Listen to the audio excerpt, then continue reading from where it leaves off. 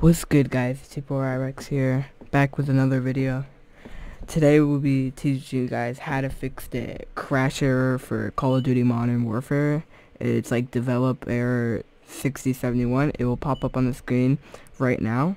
Here you go. That's what it would look like. But um, I'll teach you guys how to fix that error and play the game without it crashing. So first you want to go to run open that then open it with regedit I don't know how to say it and then press OK then what you guys want to do is you want to go to H key local machine then you scroll down you want to click uh, software. Then go to Microsoft.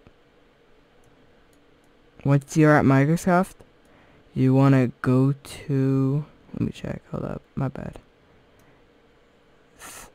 Right here. I don't know how to say it. Cry pro uh, or something I don't know man so hard to pronounce but like so what you guys want to do next is you want to click on the code right here that it gives you uh, code will be in the description you want to paste the code in press OK then uh, you're good to go. Press X.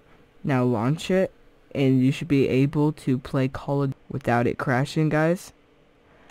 So if you want videos more, if you want more like this, guys, make sure you subscribe for new. And yeah, I'll see you in the next video.